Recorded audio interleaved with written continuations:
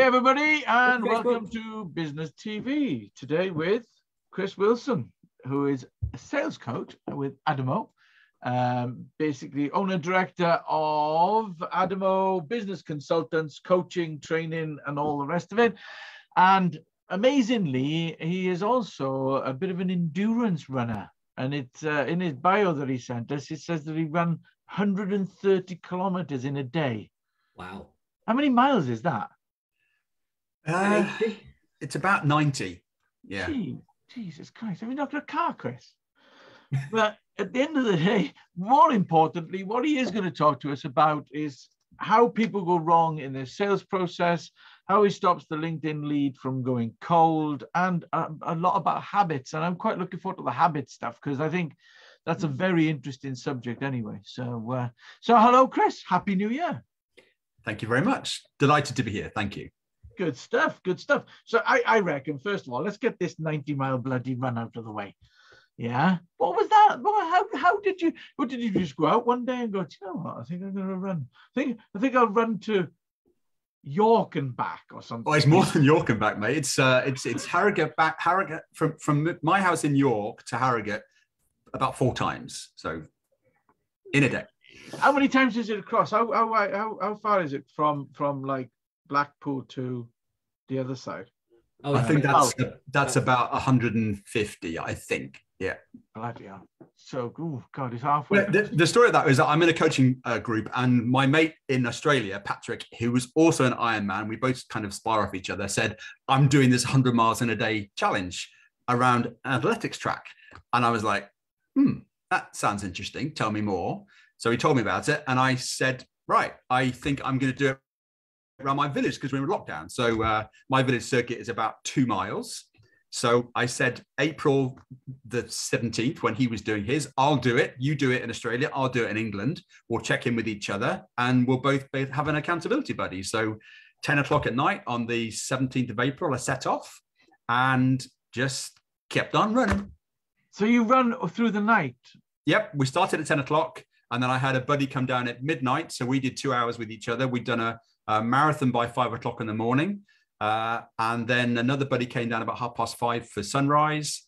Uh, and then just, I didn't run the whole time, I have to confess. I, I did walk because some people coming down and they didn't want to run. So I just walked, uh, I shuffled. Uh, but yeah, we raised just under £2,000 for mind wow. and pancreatic wow. cancer. Amazing. Because I did it because my dad uh, lost his life from pancreatic cancer. And the charity that I was doing it with uh, Mark Byrne, he lost his wife through pancreatic cancer. So that was kind of connecting to my purpose. And I wanted to kind of suffer a little bit for the suffering that my dad went through. And it was just my tribute to him, really. Yeah. Yeah. How much weight did you lose? Did I, you I, a lot. Uh, yeah. I, my afternoon was, I was extremely delirious, extremely hallucinogenic. Uh, and it was a bit weird. There's a parts of the afternoon that I cannot remember.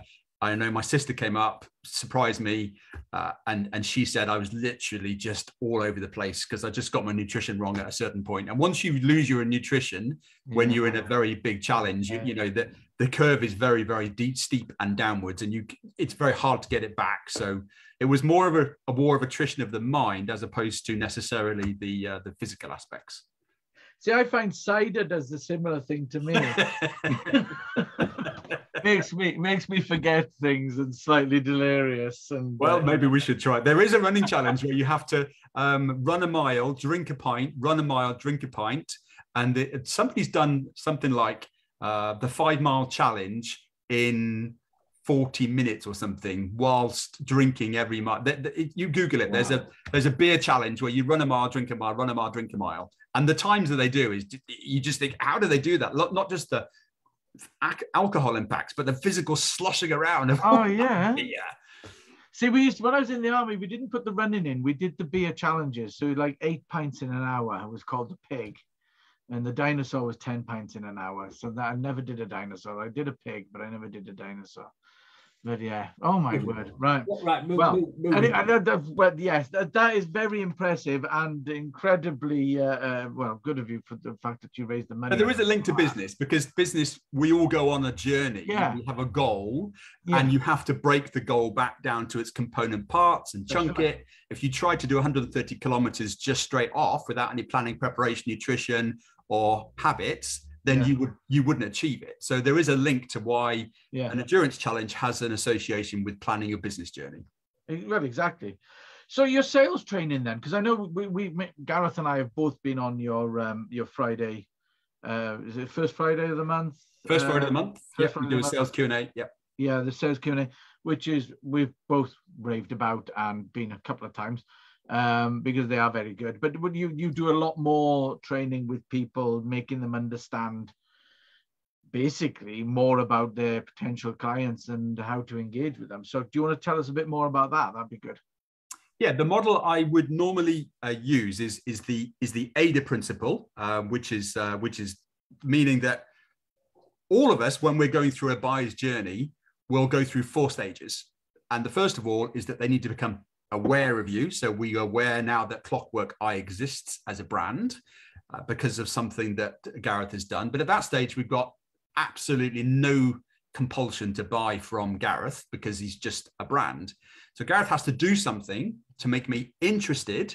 My brain has to switch on to his message, whether he's providing a testimonial, third party proof, an amazing offer, something that he says, does, or somebody tells me about that makes me interested in his brand. That's part of the marketing funnel at the top. And then it basically chucks them over the fence to say, I'm now not necessarily a prospect, I'm a buyer. And then we kick into sales mode where we have to work on the D of the AIDA model, which is desire. So I've now got to work with you as the prospect to make you want to make a decision to purchase. And then we do the A, which is action. So that's the four step methodology. And if you try to do the desire and action bit without me being interested in you as a, uh persona, then you're literally going to start to uh, actually become quite annoying because you're trying to get me to listen about return on investment or how many times I'm going to improve your sales funnel. And I haven't actually yet clued in to the emotional part of why I want to buy from you. Yeah. So that's a lot of what I start to talk about. And then we break that down through all the different parts, marketing, and then a lot of time spent on the D bit, which is the desire bit. How do we get somebody to take the decision to buy from you, either through working on where they're suffering through pain, or more importantly, where they want to get to? So by fixing this, what does it allow them to do in the future? yeah. And how do they get that message across to their prospect? It's, it's uh, it, it, it all makes perfect sense when you break it down like that. I think a lot of time, uh, me- personally, I'm not. I don't see myself as a salesperson, um, and I always give too much away. I'm, I'm rubbish like that. I always give too much away. But then people say to me, "No, well, no, that's why I wanted to work with you," and I'm like, I don't even realize I'm doing sometimes. Well, we're all selling. Even if you looked at the blind date situation, the first thing you do when you go to the bar, you don't say, "Hey, uh, should we go upstairs and uh, you know crack on?" Of course, that's that's going to be unsuccessful. You build rapport, you ask questions, you find common interest, you find things that you can both talk about, and then that creates trust and understanding, which then leads you to more emotional parts of that dating process. But if you go in too fast too soon, then they're just going to find you creepy or lecherous or annoying and they'll walk out the bar. So we are selling all the time in life, but sometimes we forget the same process to how we engage our customers. And hey, LinkedIn, who doesn't get the LinkedIn message that says, Can you connect with me? And then boom, you connect and they pitch at you straight away. That's a classic example of how people don't understand the way that you build value and rapport that then could lead to a conversation way, way down the line. But that's the LinkedIn process where they get it completely wrong with building trust and rapport.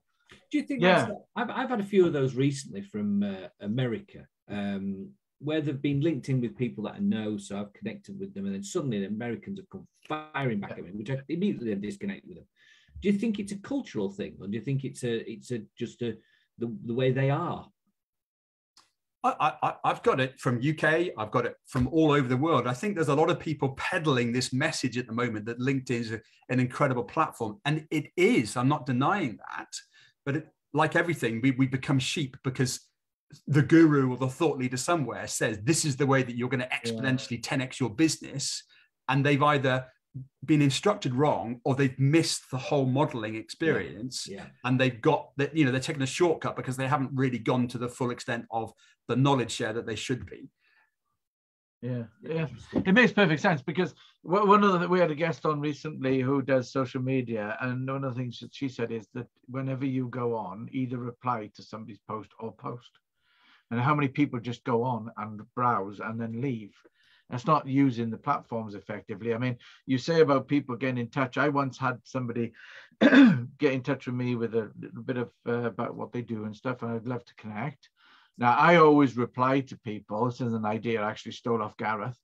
Um, but I, I, I was in a position to actually make it. But I always reply saying, hey, thanks for the connect. Here's a video. Uh, instead of a load of waffle, here's a video about me explaining what we do at Clockwork Eye. Yeah. And I put a video link in to my reply because we do video. That's what we do.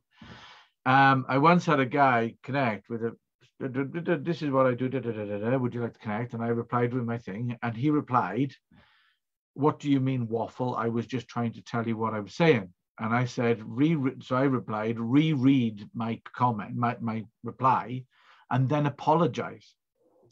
Um, and and he didn't. He didn't even come back to me at all. Now, it could have been a really good way for him to start up a conversation saying, Oh, Christ, yeah, sorry about that. I misread your statement. Did- You're not waffling. And we could have had a bit of rapport. But Well, there's a great thing there about you know, the, the, the importance of written communication. So there's a, a guy called Albert Mehrabian who talks about the effectiveness of communication. And Yeah. if you if you use the written word, it's about seven percent effective because the way you write it is the way that they read it, but it's not necessarily the way that you meant it. that's right. Whereas if you then step it up a little bit to put uh, voice into that, it then increases. So you get about 35% effectiveness just by adding a voice intonation.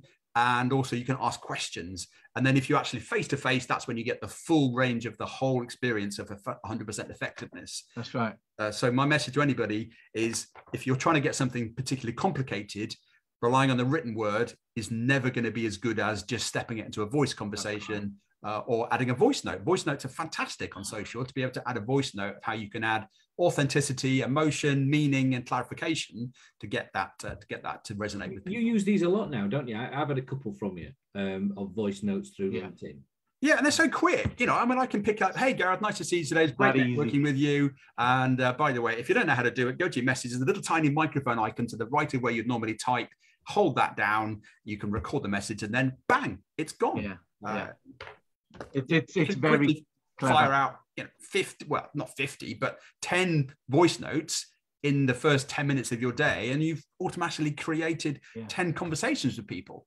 Very It- it- quick. It is very clever. I mean, Gareth and I were looking at it for the interactive networking uh, that we run at the end of the month, last Friday of the month, one o'clock till two o'clock. Plug in.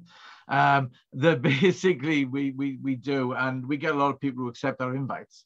Um, and I was saying to Gareth, we, we need to use this voice interactivity to basically communicate with them because we'll get better responses. First of all, it is fairly new. And like anything new, people go, Well, I've got a voice message on LinkedIn. What's that about? And they listen to it, you know. It's uh it- it's it's very clever and it is better. But like you say, one of the things that I tell people is when we when we're doing filming is 94% of communications through body language. You know, Mm. there- there- there's a you can tell your friend to go away in no uncertain terms and you can either get, get a smack in the mouth or you can get a laughter because of the body language that we use you know and the way we communicate like you say written word is awful for communication Yeah. which is why social media are uh, there are so many arguments on social media Absolutely, but also don't make it perfect. So if you sit there and rehearse, and I'm gonna just pick up the phone and go with your natural flow. yeah And if you mess up, if you stutter, if you stumble, well, that's just what we do anyway. Where some people go, right, I'm going to read the script. Hello, Gareth, nice to see you today. Yeah. Wonderful to talk about. And it just comes across as incongruent with who you are as a person, and That's then right. you look a fraud. I use I use I, I, I say the same in video with to to to er is human. Yeah, because we all say uh, but if anybody can finish the quote, I'll be quite impressed. But there we are. To forgive divine. Yeah, no, it's uh, anyway. Never mind. Nobody ever gets that because they're not on the same intellectual level I'm on. But anyway, Oh, really? or the same little bubble that the world I live in. Yeah, the same One- world you're on. One or the other. but um, I should have left that open for the comment section. If you can finish the uh, quote, tell me who it's by. There we are. Yeah. If you know who that to human to forgive divine the quote is by, put it in the comment section. But going back, yes, Chris, you are right, 100% in the fact that we we do stumble over words. We do pause to think. We do uh, we do um, you know, and it is a practiced art as well, though, doing a voice communication like that. You know, it does take practice. You're not going to be perfect every time. I know the first few times you're probably going to stumble slightly, but But it is perfectionism is it, it- it's one of I, I have a number of P's that talk about ways that you prevent yourself from being good and perfectionism is one of those you seek Yeah. perfection there's a value curve between when perfection is achieved and the time it takes you to get there it might be easier just to do the 90% and get it finished as Yeah. opposed to looking for the final polish Mm. because the people that are receiving your message just receive the message they don't know what your perfection looked or could have felt like it's Yeah. your own personal per- perfection that is preventing you god that's lots of p's isn't it uh, from being uh, Yeah. b- from being finished yeah. Don't let perfection override good. See, I suppose that these kind of things start to become habits, shouldn't they? You're using voice messages rather than text and typing should become start habits, but habits are really difficult to get. You know, this you you you you talk about this in in your training that you know it's difficult to form a habit and to keep doing that habit. You know, what are your Yeah. tips for that? okay well it i guess it's down to what what is a habit so a habit would be the way that you got up in the morning this morning you went to the bathroom you polished your teeth with your right hand you put the toothpaste on you turn around and there's a ritual there about the way that you are doing something and i think a, a habit first of all starts uh, with this word which i'm going to write down which is called um, an intention so you start off with an an intention to do something. So I have an intention that I'm going to be a world class um, weight loss expert or something like that. So that's the first part of that. Uh, Mm. And then you have to change something, which is that you need to start to, to lock in behavior. So in order to get to the point where you are now habit forming, you have to start to, to do the action of actually making it stick. And then it starts to become uh, the, the habit, but then you have to put that into place constantly to make it a practice that's drilled in. Yeah. And then it just becomes second nature because it's automatically happening. And then it really becomes part of your attitude. So you then say, I am a 12 and a half stone, good, nutritionally orientated person that values their health because I want to be alive for as many years in the future. So you connect the habit to the why, and then it becomes attitudinal, and then it becomes part of your DNA because you mm. link it with purpose to your future. A lot of people fall off the wagon with habits because they haven't really drilled in as to why they want to do it, whether it be veganuary, dry January, or the things that we might be doing at the moment. It's just something perhaps that they've locked, latched onto because they want to be better, but they haven't really dialed in as to why and what the consequences are. So, loads of tips on habits have accountability partners, have forfeits, write them down, share them with people, stack them, do one thing at a time. Best thing, go and read Atomic Habits by James Clear. Amazing book. Just read that book, James Clear, Atomic Habits, and it'll change the, the way you think about habits. And also, he helps you understand how to connect them in little dots. So, if you wanted to be a runner, hmm. Put your shoes by your door when you come home from night. And the first thing you do is trip across your shoes. And you know that your shoes are reminding you that you decided that you were going to go for a run that night. And you just do little things.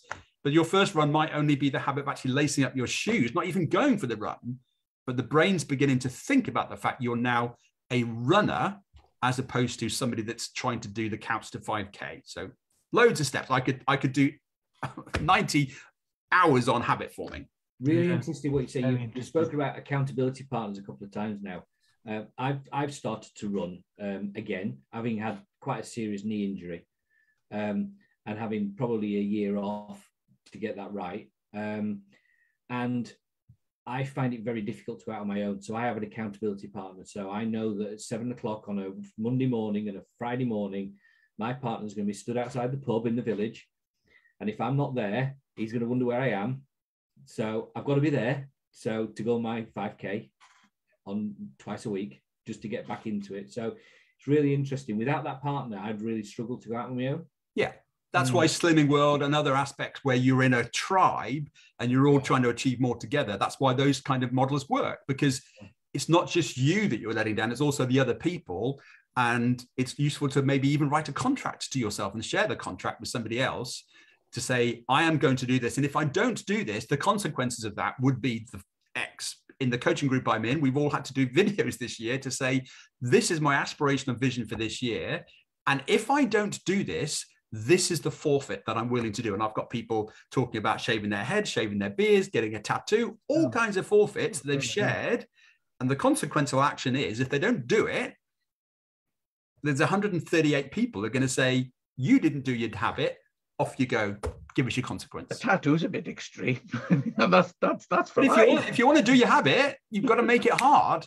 You know, you, there's no point saying, "Oh, I'm going to do something superficial," or "I might have to eat chocolate for a week." Well, that's not going to be that's not going to give you a compulsion to want to go being uncomfortable being sorry being comfortable being uncomfortable nothing good comes easy that's very true that that's very, very, true. very true yeah so I tell you, you, you, you in business take these messages through to sales teams. Are, that, are they sales teams from one man to hundred people, or, or, you know, what's your what's your niche area, Chris?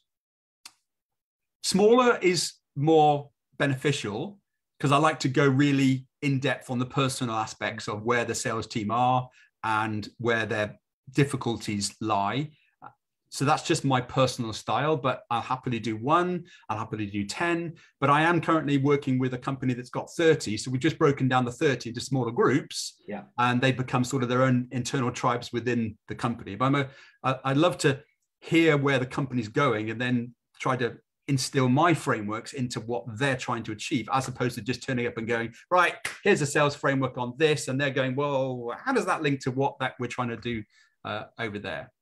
Suppose if you break a 30 team down into three groups of 10, you get a little bit of internal competition as well, don't you, within those? Sometimes, terms? yes. Yeah. And there's also a little bit of what have you just covered in module one? And there's well, you have to wait and see, or they all see them coming out and they've they've just done this breakthrough session, and then there's automatically a little bit of uh, intrigue as to well, what's that session going to be about because they've just come out looking a little bit more fired up than when they went in. So there's some excitement there about what that's going to feel like.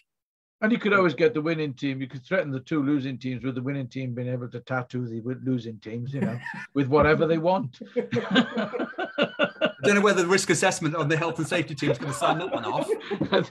yeah, would, would be interesting. I think you'd probably have a fight breakout, but there we are. Insurance brokers just go, do it, Chris, do So, Chris, Chris, going back to going over your years with Adamo as managing director and director of Adamo, what um, what's the best thing you've learned in your business?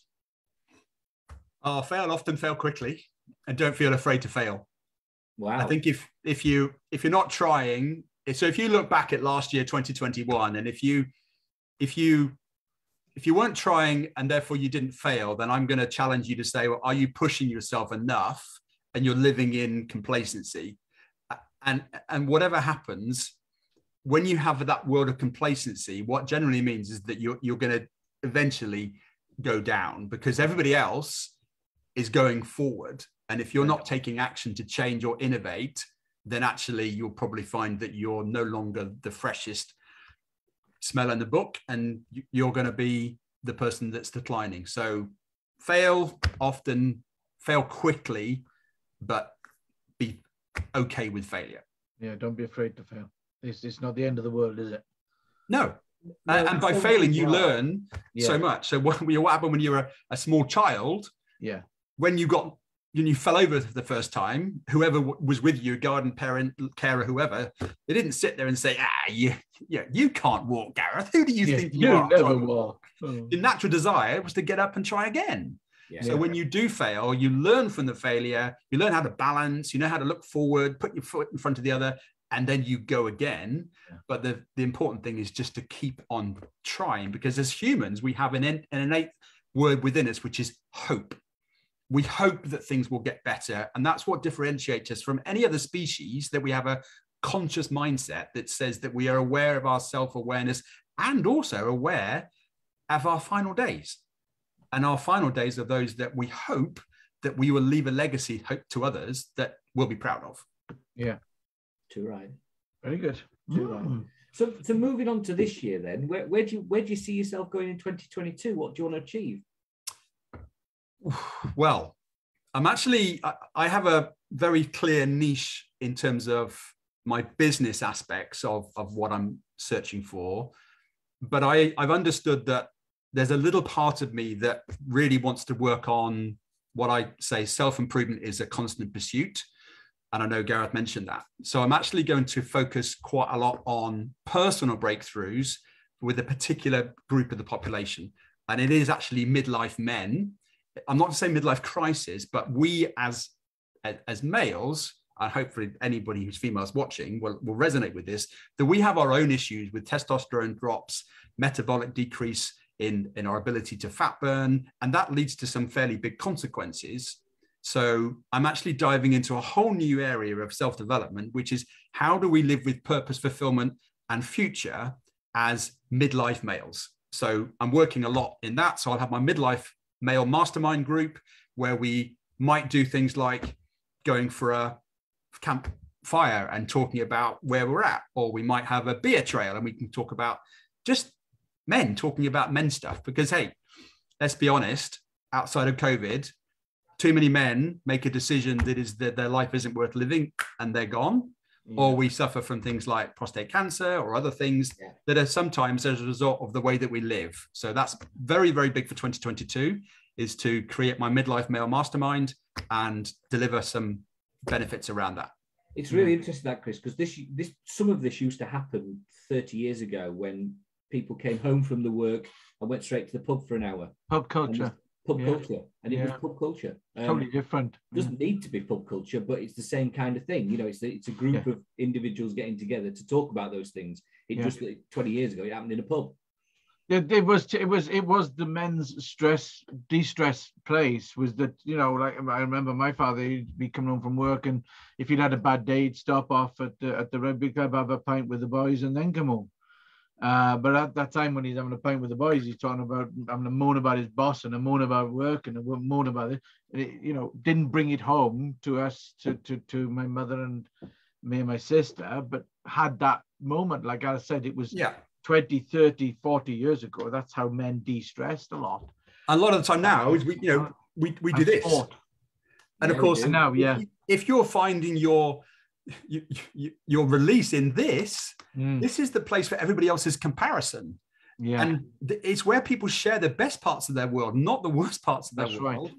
And if you're looking for motivation, support, then social media is really the comparison of everybody else's best bits of their lives. And, and you go into that and you just think, well, I'm not worthy.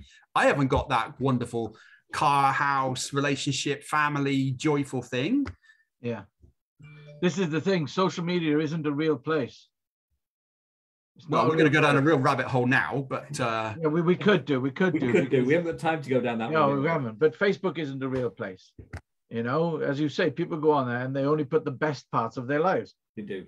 You know, they do. And at the end of the day, that then when oh, anyway, by going on it, we're automatically making choices. You know, how many times are you swiping and you're liking, you're sharing, you're liking? Your brain's going every time. It's it's deciding what you want to see and what you're not. But then the algorithm then only gives you back what what, yeah. what it wants you to see. Exactly. And it's not real because it's it's actually based on what you're already giving it, and therefore it flatters your dopamine by giving you more yeah. of what you want. But what you want necessarily isn't what you need. Yeah.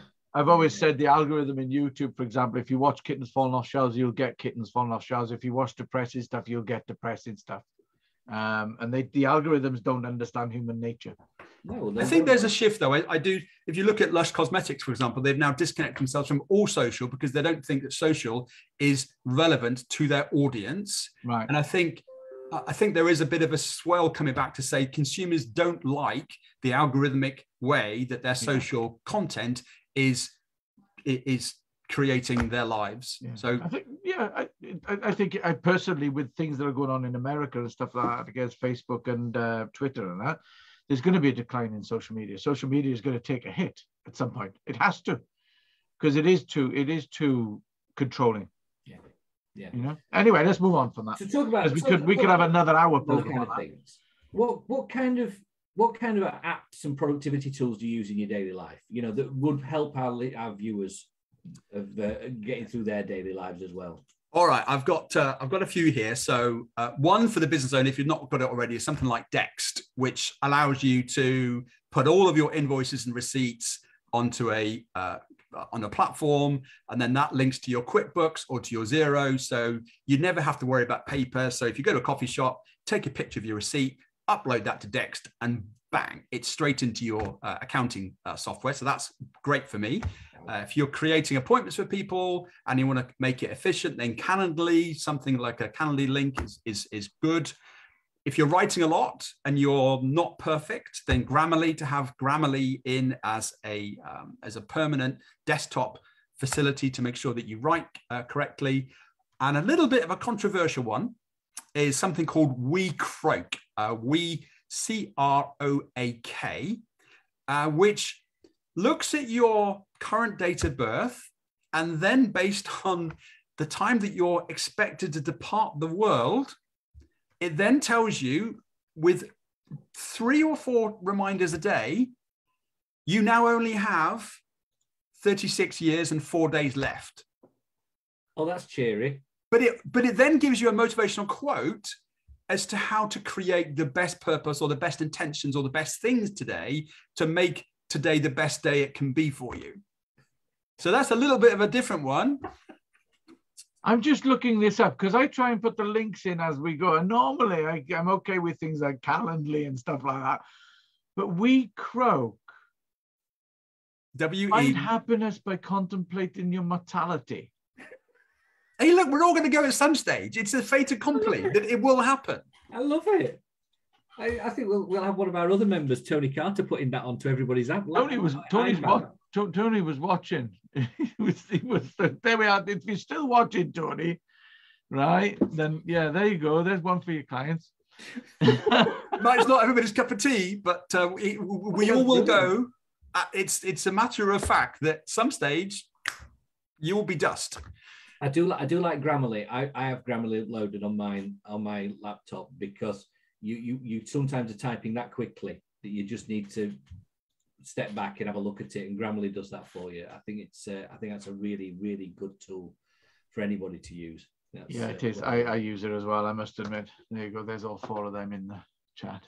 I, I use Grammarly as well, and I, I like the way that it actually instead of like with your Microsoft under, underscore red line, you have to right click and then choose. It just drops it down and you choose it. And sometimes you might not agree with it, um, you know, but then you don't have to make the correction.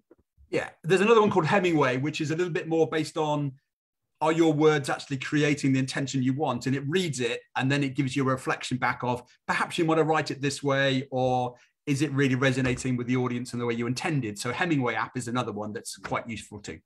Yeah, I've used that a few Yeah, times when you're yeah, posting on social, just to s- to make sure it's reading that a a somebody of a level of mind can read. There you go. I put that one in as well. Yeah, it's it's that's that's worth a look. Yeah. definitely worth. Look. Brilliant. That was really good. I really enjoyed that. I mean, you know, the whole the whole chat about habits and behaviors and stuff like that is absolutely fascinating. And I mean, I must admit, Chris, I do enjoy talking to you anyway and coming on your workshops because of the fact that you you have a really good way of delivering. Um, I, I- you, you like an analogy. I love an analogy. I think analogies are fantastic. I think they're the best way to describe something to people. Um, and you have a really good way of making things, you know, sound more effective and interesting, to be honest with you. So we all learn in different ways, but the more you can create visual representation stories about what we're thinking about, I think it then helps cement it in the, yeah, the emotional mind as to something that you know to be true. Yeah, creating the story in the brain as you go in. It's really good. Absolutely. It's really good. So thank you very much for coming. That's it. We're done. It's been a pleasure. Thank you. We've gone Thanks, a little Chris. bit over, but that's because it was a great conversation. Um, so yeah, if anybody out there would like to come to One Hour Networking, interactive networking on Netopia, um, we're having a quiz tomorrow, by the way, at one till two o'clock in Netopia. That should be fun. Um, apart from that, uh, you want to be on business TV, talk about your business, then give us a shout. And thank you very much, Chris Wilson and sales coach Adamo. And brilliant. Looking forward to the next Q&A session as well, Chris. So I'll be along to that. 4th of February, 4th of February, 10 o'clock. 4th of February, my sister's birthday. And also the day that Facebook was launched, 2004. May the 4th be with you. No, that's May, isn't it? Yeah, That's sorry. me, Yeah. We'll put that. We'll put that in the comments as well. Sales Q and A, fourth of February. put Well, that in it the is my sister's well. birthday. I wouldn't. You know, there's no need. There's no need to put it in my. My sister's birthday on the 4th of February as well, believe it or not. Is Honestly, it? It's mine on the mine on the third. Seriously, seven years between us. There we are. Brilliant. Thanks, Chris. Thanks, Thanks, Gareth. It's a pleasure. See you later, Thank you very guys. much. Bye.